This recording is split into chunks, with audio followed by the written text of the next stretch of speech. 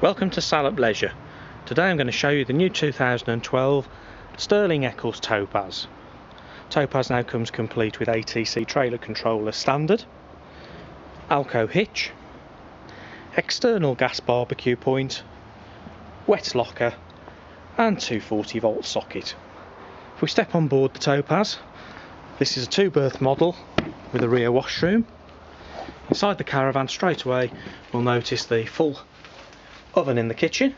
Comes with three gas burning rings and an electronic ring grill and full oven microwave and Thetford fridge with ice box. Plenty of room on the work surface area. Lots of overhead storage. Topaz comes complete with sunroof. Roof light by Heki and the front area converts up to make the double bed for night time.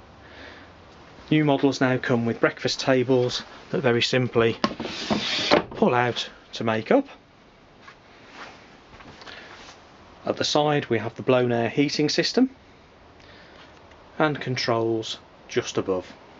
At the rear of the caravan we have the wash drying room area.